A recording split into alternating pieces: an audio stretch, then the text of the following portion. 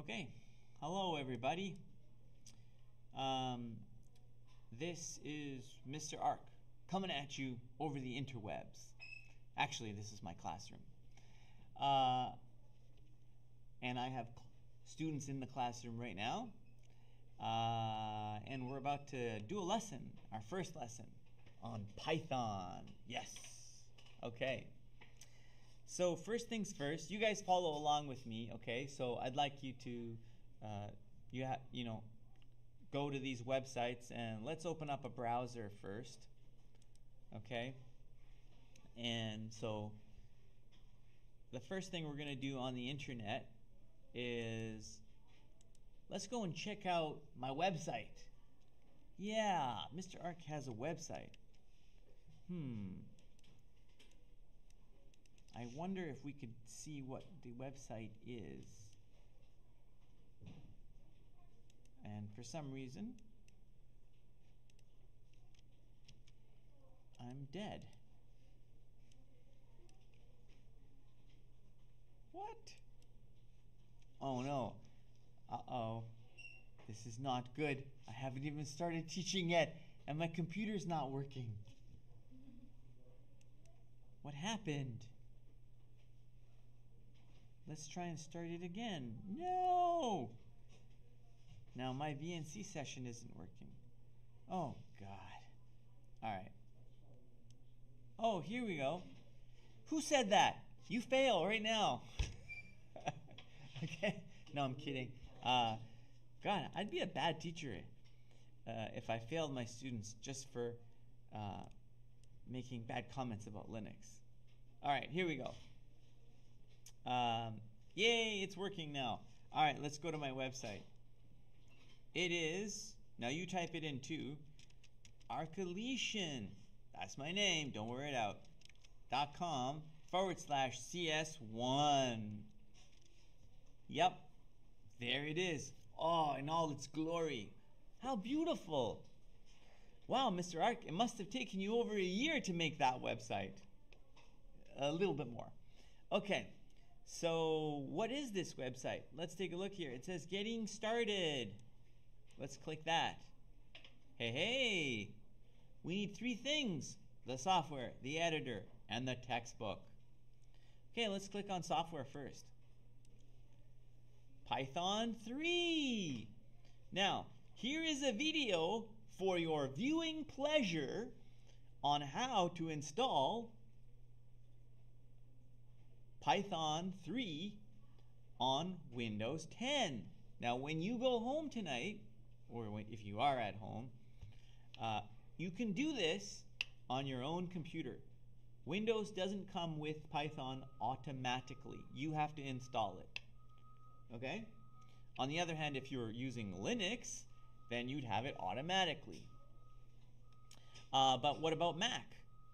I know what you're thinking. Oh, I didn't forget you guys. Yep. So you cool kids can also install Python, but I know what you're going to say. You're going to say, yeah, but Mr. Ark, I thought Mac OS comes with Python.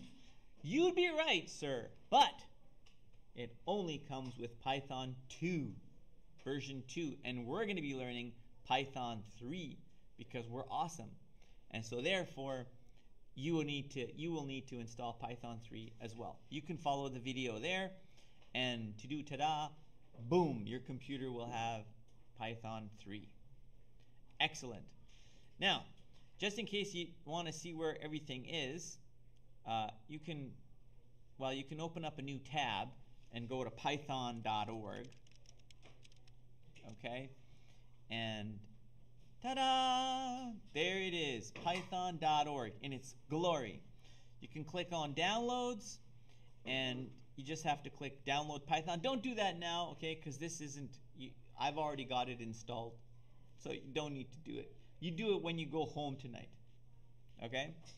And um, you, you got to get the right version for you. This website kind of tries to detect, you know, it knows I'm running Linux, so it won't show me the Windows and Mac OS stuff, but those videos that I have for you will explain how to do it on your operating system. All right? But I'm going to show you, I actually, I'm going to prove to you that I have it installed. Let's open a terminal here. When I go to console, see that it says console? That's right, I'm running KDE because I'm a cool kid. Spelled K-O-O-L. And um, so we're going to go Python and hit enter. Oh no! It's Python version 2. That's not good. Well, don't fret. You can hit Control D to get out of there. Control D, right? And then you can type in arrow up or just type in Python again if you're if you like typing. And hit put a 3 at the end and now you'll notice to do ta-da, we've got Python version 3 on these computers. Yes. That's what we want. And you can you can have that on your home computer as well. Because it's free and it's open source and it's an awesome language and you're going to learn it. So, that's Python. So, go home and do that. Now, what else do you need? That's the first thing you need. Second thing you need is an editor. Uh-oh. Holy War detected. Yes, that's right. Uh, lots of people feel super strong about their editors. Some people will say, Microsoft Visual Studio. Dun, dun, dun. Some people will say, Sublime Text. Oh, yeah. And some people will say, Vim for the win. So if you're wondering what those things are, so look at this. This is the editor that I use. It's called Vim. Oh look, I've got a sticker of it on my computer. Haha. See, I'm a cool kid. Now, uh, if you go to Vim, don't try using this one. Honestly, you if you soon as you start this editor, you will be stuck inside of it forever. You will never be able to quit the program. And that's a running joke. But the point is that it's got a learning curve and it's not for beginners and you my friends are beginners. So use something that's easier to learn. Okay? Uh, now, the one that I have chosen that I think is good for you is Geany. Let's see if that's the right website. Yay! Now, if you don't want to remember this stuff, if you go back to my website, there's a link to it right there. Okay? That'll take you to Geany. And what is Geany? It's a flyweight IDE. IDE stands for Integrated Development Environment. Right? It allows you to code, and we're not going to be using Notepad. Ugh. And um, but you're going to have to download this. Okay, so you'll click on download and go to releases. And when you go to releases, notice if you're running Windows, grab the one that says exe. If you're using Mac OS, grab the one that says DMG. And yeah, if you're using Linux, it would be something like sudo apt get install Geany, but don't worry about it because I've already done it for you. Look, if you click on the KDE and ta-da, there it is. It will be in development. See that? Yes. Awesome. Click on Geany and that's what it looks like. Wow. Exciting, isn't it? Well, we're not going to use it just yet because we don't really know how to uh, how to code yet in Python. But you still need this and we'll be using it a lot. And now let's go back to our getting started section.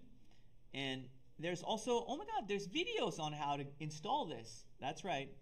If you are slightly, you know, computer phobic and you're not really sure how to install programs, don't worry. There's videos how to showing you how to do it. This one actually uh, shows you how to install Python, but we've already done that, so you can skip that part. And that's right, if you're on a Mac, I've got that one too. Whoa, this is nice.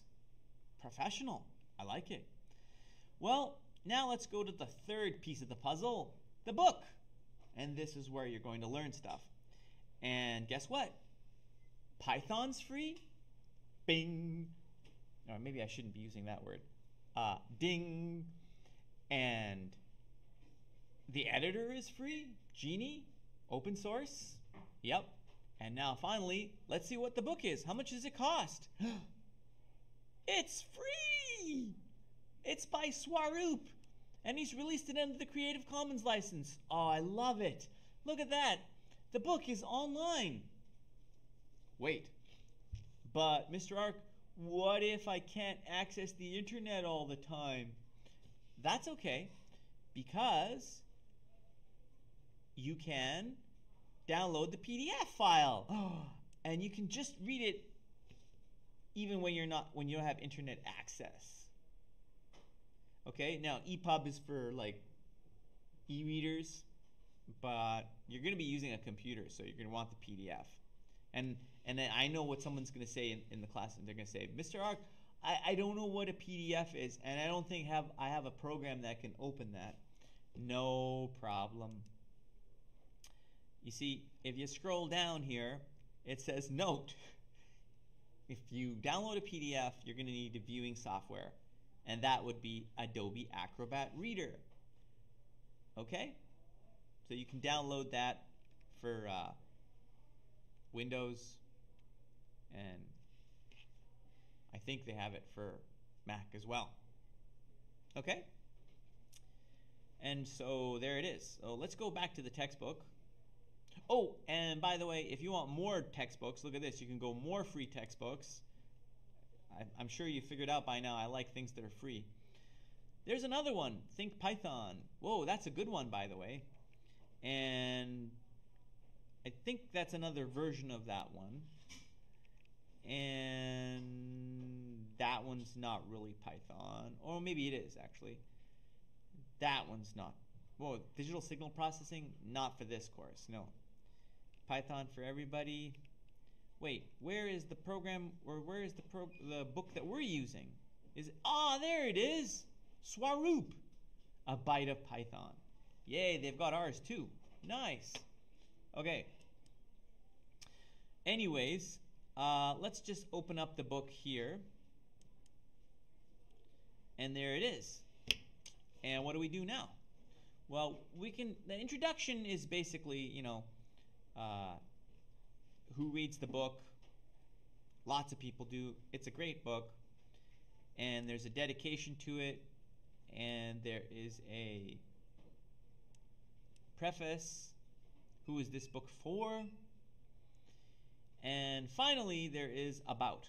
So today we're going to go through the three sections about Python, installation, and first steps. First of all, uh, yeah, Python was named after the BBC show Py Monty Python's Flying Circus.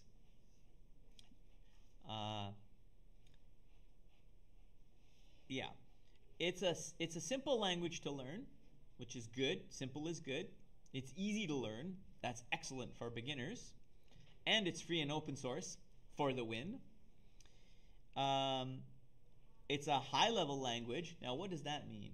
What's a low level language? Well, low level language is very, very close to the computer, like assembly or, or even C would be considered more of a lower level language. But we're not going to learn those things. Those are hard to program in. High level languages are close to English. It's almost like you're talking to the computer and telling it what to do in English. That's high level. That's Python. It's portable. It'll run on anything. Literally. It'll run on Mac, Windows, Linux, even not just operating systems. It'll run on um, like any type of computer too. Whole bunch of different types of computers it'll run on. Wow, even a PlayStation. I didn't know that. Okay. Uh, it's interpreted. It means it's not compiled like some other languages. It's a scripted language. So you run the source code. Very cool. Okay? You can look at the source code and just run it. There's nothing there's no intermediary steps, at least none that you'll see. And it's object oriented. Although this course uh, we're not going to be doing object oriented programming, uh, we will in the next course. Woo. Uh, it's extensible. That means there's a specific word for this, and you guys should uh, learn this word. It's called batteries included. Right? When you buy something, it's got batteries included. That's Python. Very famous saying. It means that. Um, oh no, that was this part, not extensible part, but extensive libraries. That's batteries included. So it's got a lot of things built into it. Okay, there it is. This is called bat. They even put that in there. Nice. Batteries included philosophy. And so then there's versions 2 and 3, but 2 is gone now. We're not going to live in the past. We're going to learn Python 3. What programmers say? They love it. Yay. And so do I. And so will you. And then let's go to installation. Well, guess what? We've already got it installed here, and you're going to install it on your home computer tonight. Okay? And once you do install it on your home computer tonight, give me a thumbs up. Okay? Um, now, uh, if you want like detailed instructions, you can read these at home, how to do it, but or you can watch the video, whatever you prefer. First steps. Here we go. This is it. We're going to start now. So let's use the interpreter. How do we how do we get into the interpreter of Python? It's kind of like the brains of Python. Well, we did it already. We're just going to type in Python 3. Hit enter in the terminal and you'll be in the interpreter. How do you know that you're in the interpreter? You'll have three greater than symbols. See them? Right there. That means you're in the interpreter. Let's get out of the interpreter. Do it with me, okay? Don't just watch, but do. So let's go Control D. We're out. Now, where are we? Python or Linux? We're in Linux. How do we know? Because there's a dollar sign there. See the dollar sign? That means we're in Linux terminal. Let's get back to Python. Now, I know what you're thinking. You got to type in Python 3 again. Gosh, there's a lot of typing. No, you don't. You just have to hit arrow up. One key. Arrow up and Python 3. And now we're back into Python. Yay! Now, let's actually type something. Let's type this command. Why are we going to type, why are we going to run a line that says hello world? Because every single programmer on in the entire world runs this program as their very first program. You must run Hello World or you will never become a programmer. Okay, let's try it. Here we go. Print. Bracket. Print requires br brackets. Then you go quotation, hello world. Close quotes, close the bracket, and then here comes the moment of truth. Hit enter. Ta-da! You are now a programmer. Okay? If you want to insult someone who's a programmer, you just say, man, you're not even good enough to write hello world. That's pretty much the worst insult you can give anybody. Okay? So, um, let's continue. Let's go back to the book. You know what I'm going to do? Oh, look, watch this. I'm going to grab this thing. Let's pull it over here all the way to the right and let go. And it takes up half the screen. Let's grab this guy, pull it all the way to the left and let go. And it takes up half the screen. Nice. Now I got my terminal here and my book here. Awesome. Okay, so there is the interpreter. We did that command. And yeah, we know we're running what version we're running. That's the version they have. This is the one we have. Can you guys see my mouse? Yeah, you can. All right. Now, yep. So as soon as you type in that one line, it executes that line immediately. So you can test things like that. Okay? You can test out if it if, if like it works and it's a it's a really neat way. It's um, compiled languages don't have that nice feature of being able to just like try one line at a time and see if, what happens. Okay, um, next. If you are using, yes, right, how to get out of it. Okay, so this is showing you how to get out. You guys remember how to get out? Con try it again. Control D. Get back in. Try it again. Python 3. I want you to get really used to getting in and out of the interpreter. Okay? Arrow up. and you're and you're back in.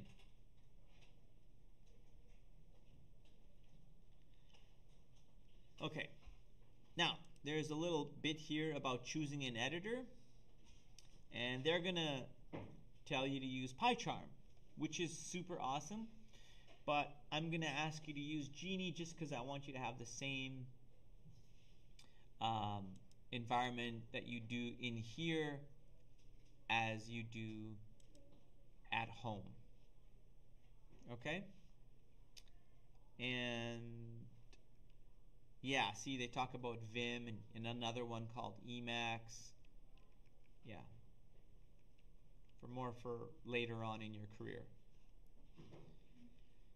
So let's scroll down through, because this is telling you how to use PyCharm. That's another editor like Geany, but probably a little bit better than Geany, but it's okay. Geany's going to be just fine for us. Um, I'll show you the nice thing about it in a minute. Okay, so we're kind of at the end here. We're at the end of uh, first steps. Now let's learn the basics. Let's click on basics. so we learned how to print something. But notice you can print something with single quotes as well. So notice when I did print, I can also do like this. Yay, that works as well. Now you have to be consistent, okay?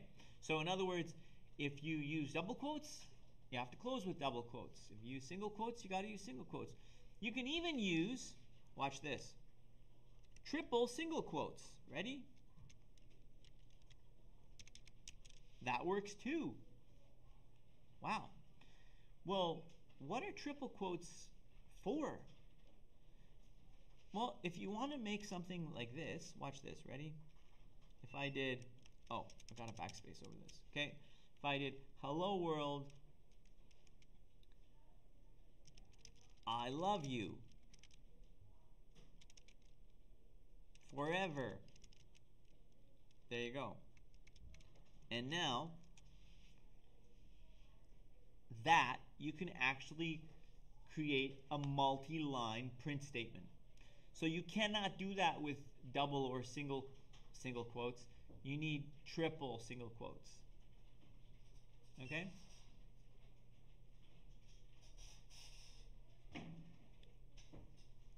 Uh, so let's take a look at that. Now we're going to look at a comment. How do you make a comment? A comment is like this. This is a comment because it starts with hashtag. You don't have to have one at the end, by the way, so that's good too. You just have to have the hashtag at the beginning. Anything that starts with a hashtag, it's a comment. What's a comment? Well, it's for you. It, it will not be executed. The program will not run it. It's simply some notes in your code to remind you or to let you know how to do something or maybe to help other people understand what you're doing. Or probably even more important, it's to tell you to help you understand what you're doing two months from now. You go back and look at your code and you go, I don't remember why I did that. Oh, wait, there's the comment I left. Oh, yeah, I remember. That's what comments are for. Okay? Also, by the way, just let you know, if you're working for someone, like a company, and you're writing code, most companies will demand, make it mandatory for you to create comments in your code. It's called documenting your code. Because if you quit or they fire you, or any other reason why they you might not work there anymore, then um, they want other people to understand what you're doing. And so you're going to have to comment your code. But if you're a real programmer, it'll be the part of your job that you like the least. Okay. So now we're going to go on to literal constants. What's a literal, con literal constant? Well, this is called an integer. I need you guys to memorize things like that, okay? So just like math, uh, that's an integer. That's an integer. That's also an integer. Any whole number is an integer. Okay? This, on the other hand, is not. That has a decimal in it, and so that's called a floating point number. Okay, floating point. And then there are strings.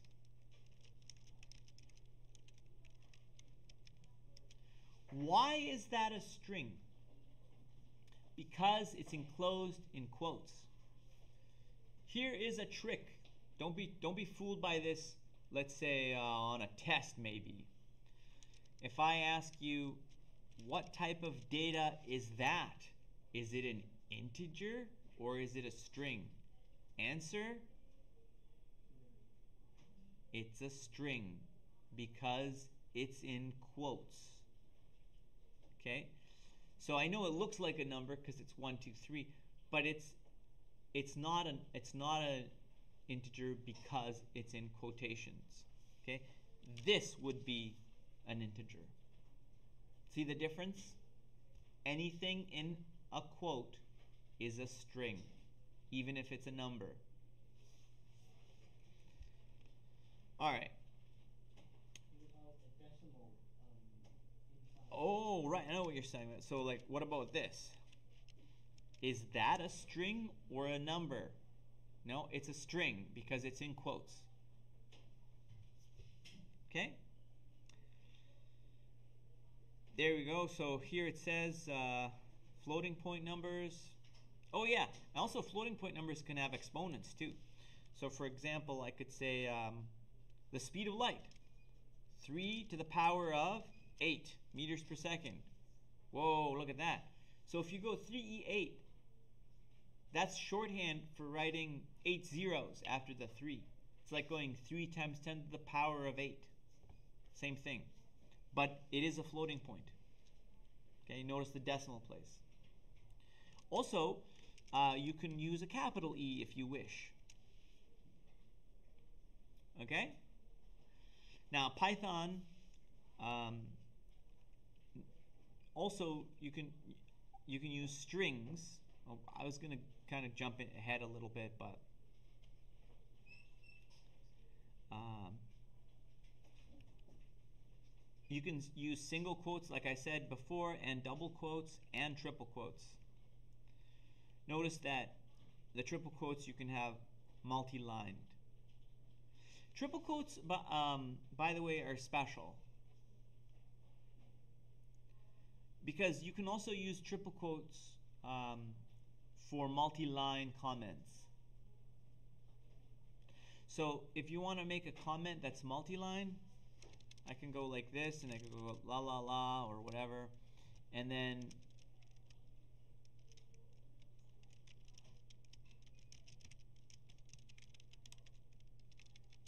you can do that too. Well, that, that just turns out to be a string. Notice that it puts new line characters in there. So for example, um, if I went print and I said hi backslash n this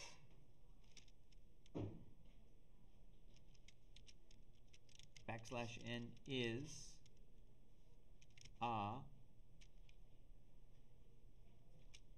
backslash n comment. This is not a comment. This is, I'm actually printing it. But notice the backslash n is a new line character and it'll print those. The backslash n is, is you're escaping the n. So what that means is you're treating it specially. And so it ends up not printing like a regular n, it becomes a special character called the new line character. So in other words, these two characters together, the backslash n, make up one character, which is called a new line. And so we could have used triple quotes there to print it on different lines, but we can also mimic that behavior with the new line character. Okay, so in our notes here it says strings are immutable. That means we can't change them. By the way, just for your you know trivia, integers and floating point numbers are also immutable. You can't change them once you create them. So how do you create them? Well, watch this. If I say x equals 1, now x is storing an integer. If I say um, pi equals 3.14, now the word pi is storing a floating point number. And if I say name equals, now I'm going to store a string in there, and I could say hello. Now, each of those variables, x, pi, and name, are storing different types of data. If I hit in the interpreter, you can just type in the name of the variable and it'll tell you what's in there. But in a program, you'd actually have to go print. And we, we haven't made a program yet. But you could also if you printed out pi, then it'll show you what's there. And printing it just basically uh, displays the information that's inside the variable to the screen. Okay? So here's an example of a variable called age and it's storing a value of 20.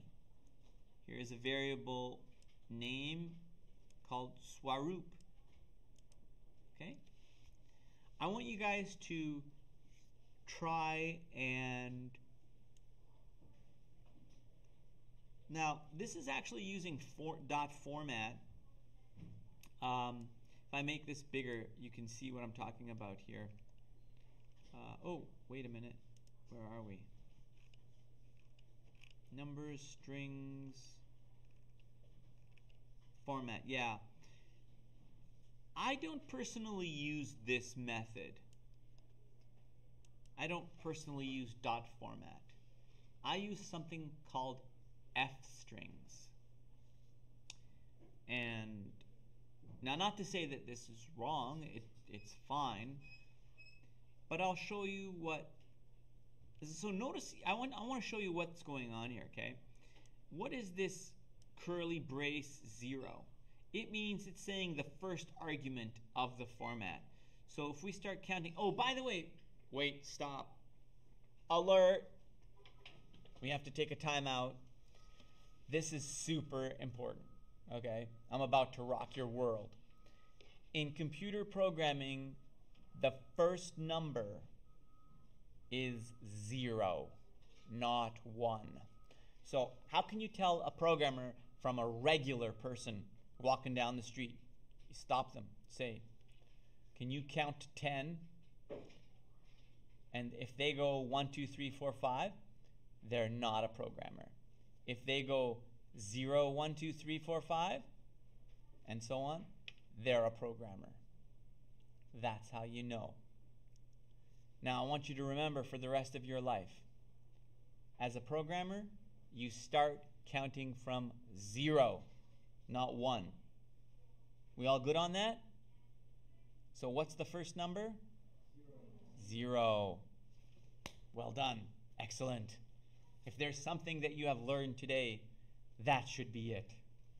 Okay, so notice that's the first variable, so that's zero. So this will print out. So what is name though? Name is a variable, but notice he's assigned it to Swaroop. So the output will be Swaroop was, and now the number one variable, which is the second variable, its age, here it is. And the age was assigned to 20, and so it'll print out Swaroop was 20 years old when he wrote this book. Wow. Um, but am I going to ask you to do it like this? Nah, I don't like this particularly. It's it's a lot to remember, I feel like. There's a simpler way. Okay? And that way, yeah, I, I used to do it like this uh, a while ago, but I think this way is old fashioned as well. Uh, you can concatenate. I know that's a weird word. Basically, it just means like glue together. You can glue strings together with the plus symbol. Um, and so you can go Swaroop is 20 years old. That's what this would produce if you printed it. Okay, so watch, I can try, I can do it for you. Ready? So if I said, uh,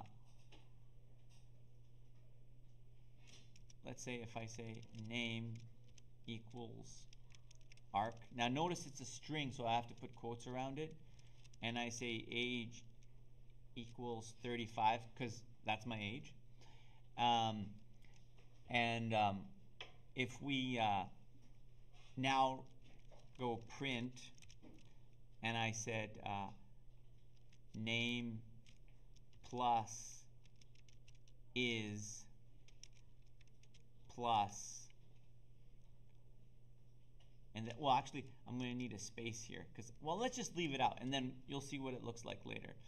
If we go name is age plus and then years old okay let's run that uh oh wait I messed up what did I mess up oh right I messed up because age is not a string and we can't actually we can't actually print age because it's an integer. So we'll have to change it. Nope. We'll have to change it to a string by going str. See how much work this is? Now it works. Ark is 35 years old. But it kind of sucks because there's no spaces in there. So, oh, God, now I got to come here. and I got to come over here and I got to go um, put another one after there and put another one here and all right that's that's a bit better. This this is not a good way to do it okay? What's better than this? Well let's have a look. You could use format and actually you don't even need to specify what number you want. It'll take them in order still I don't like this okay um, you can you can name the arguments you want in format. I think this is even worse. If you, if you want to confuse students, teach them this. Okay? Aha, here we go. Dun, dun, dun. This is the one I want you to learn. This is the good one. It's called, and it was introduced in Python 3. Thank goodness for Python 3. It's called F strings. Look how easy this is. Look at all you got to do is put an F right there.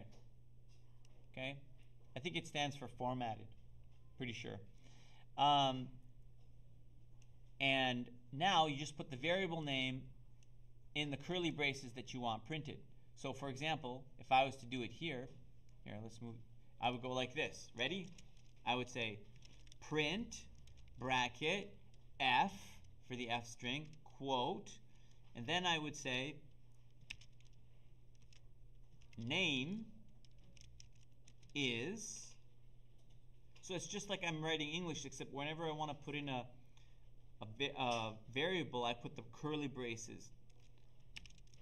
Age years old. And now I don't have to worry about converting anything from integer to string. Ready? Boom. Don't you think that's better? Yeah? Don't you think that's a lot better? I think it's better. That's the that's the cleanest way I think to print stuff in Python is using f strings. Okay? But I still want you to be especially well uh, I, I do want you to be um, not so much the format I'm not I'm not really crazy about this one if you don't learn this I don't really care that much. But this one has some importance. So the concatenating one has some importance because you can actually create other variables by concatenating stuff. Okay? Like other strings. You can create a new string by concatenating stuff. Okay? And it's it's very common to see code that has the plus symbol. So plus can be used for numerical addition and can, it can also be used for concatenating strings. Let's take a closer look at that. So if you'll notice here, if Python can be a, used as a calculator. So if I went 5 plus 4, oops, I didn't use plus. 5 plus 4 is 9. Nice. Oh man, you can do any math? Sure. Uh, 3 times 5 is 15. Oh, this is awesome. Wait, that's times? I thought times was an x. Nope. In computer programming, times is a star. So 8 minus 3 is 5. Nice. Okay. And um, here's, and ready for this? Here's divided by. Uh, 8 divided by 2 is 4. That's divided by. Okay? Now, why am I showing you this? Because, are you ready for this? You can do these types of operations, some of them, not all of them, but you can do some of them with strings. Ready? Watch this. Uh, let's go, for example, cat. Okay? Plus dog becomes cat dog. Okay? I should have done hot dog. That would have been a better example. Um, but you can concatenate or glue strings together with a plus symbol. So now the plus symbol, if it's numbers, if it's integers, it does an arithmetic operation on them. If it's strings, it glues them together. See that? So if that's true, then can we do this? Can we do cat minus dog? No. Ah, darn it. We can't take away a, a dog from a cat. Um, can we divide a cat and a dog? I don't know what that would be in real life. I don't even want to think about it. But nope, thank goodness we can't do that. That's like messing with uh, biology or something. Can we multiply a cat and a dog? No, we cannot, thank goodness. However, so far the only one we can do is the plus. But there is one thing we can do, which I haven't shown you yet, and that is, are you ready for this? We can multiply a string. Not by another string, but by an integer. Huh? Watch this. Ready? 2 times dog. What's that? Dog dog. Isn't that amazing? Whoa, that's so powerful. Wait, you know what? Listen, I have actually seen students like try and make a string and, and they want to go like this. They want to go A, B, C, A, B, C, A, B, C. And, and they want to have the letters A, B, C like 20 times. So I've actually like walked by a student typing ABC 20 times. And then I go, I, I put my hands on my, oh no, no, that's not the Python way to do it. And they look at me with these blank eyes. And I say, if you want ABC 20 times, you just go like this. You see what I mean? That's the Python. That's the now there's a specific word. It's called that's the Pythonista way. You're a you're becoming a Pythonista. Sounds so cool, right? All right. Well, Um, so we kind of learned about how to do print statements. I want you guys to practice this at home too, by the way. Okay, so you don't have to learn every single format one, but at least let's say, for example, try this one out. Uh, definitely don't do this one. This one, I have no idea why they put this in there. That's just trying to mess you up. I think all they're trying to do here is to show you that they can have named arguments here. Um, I don't understand the purpose behind that. Um, but the one, like I said, the one that I use the most is f strings. Okay? Then here we go. There's there's another thing where you can do format stuff. So um, decimal precision. Okay? So for example, if we go 1 divided by 3. Okay, so let's try that here. Here, let's move this over. Ah, oh, we lost our place. Where is, where are we? Oh, why did we lose our place? Okay, there we are. Let's try it. Ready? 1 divided by 3. All right? That's going to give us 0.333 repeating. But if you want to not have so many, then you can go print. Now, by the way, just remember, I could have just, I could have also done print 1 divided by 3, and it would give me the same thing. So why do print? Well, the reason is because this is the interpreter. And in the interpreter, we can just issue, we don't have to use print. We're going to see the result anyway. But if you did this in a regular Python program, it would do nothing. Because it wouldn't actually print the result in the execute in the execute when you execute the program. You have to print it for it to show up. But not in the interpreter. In the interpreter, you can just type in the expression and the result will show up. Make sense? So we haven't written a program yet. We're getting there, but this is kind of like the beginning. All right?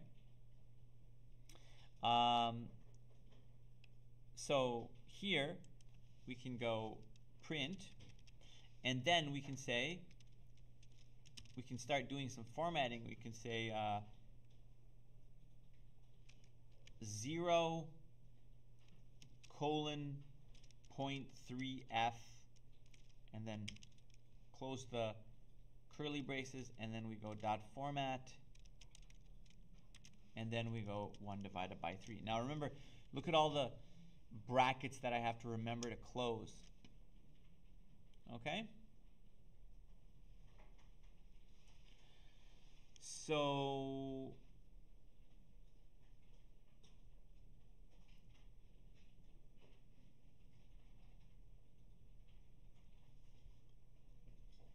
I want you guys to play with that and there's there's different things here. There's different examples. Uh, here, oh, this is a really, really, really important one. Okay? Try and see if you can figure out what these numbers in here represent. Okay? Is there any relation between this 3, in other words, 3 digits after the decimal place? Let's see if we change that to a 4, what would happen? Makes sense, right? Okay. What if we did, um, how about we, how about we go, um, how about 3 divided by 2? Okay, that's 1.5. Um, how about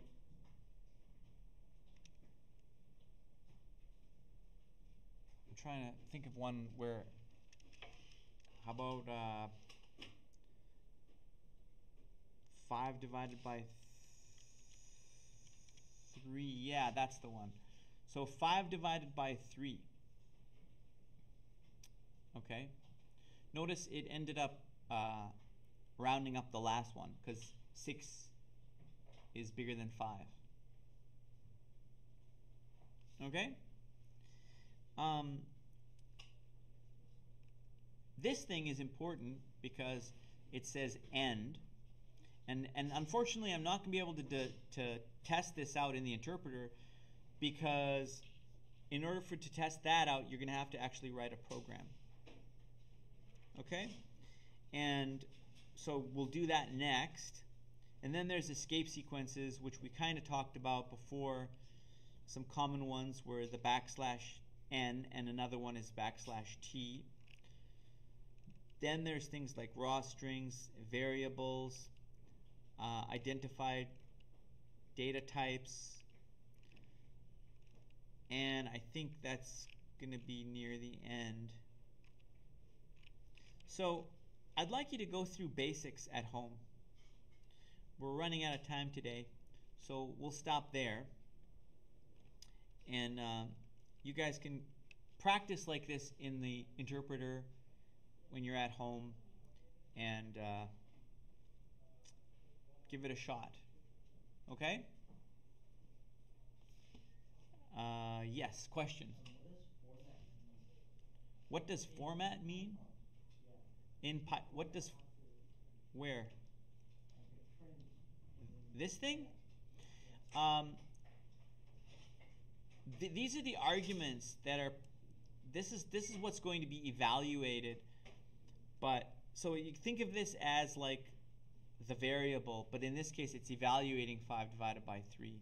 So that's what's being printed, and this in the in the curly braces is where it gets printed. That's how format works.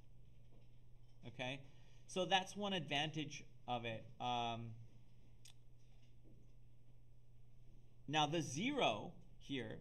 So let's try let's try doing this in a let's try doing this in a, in a um, F string. Let's see if it'll work with an F string. If I went uh,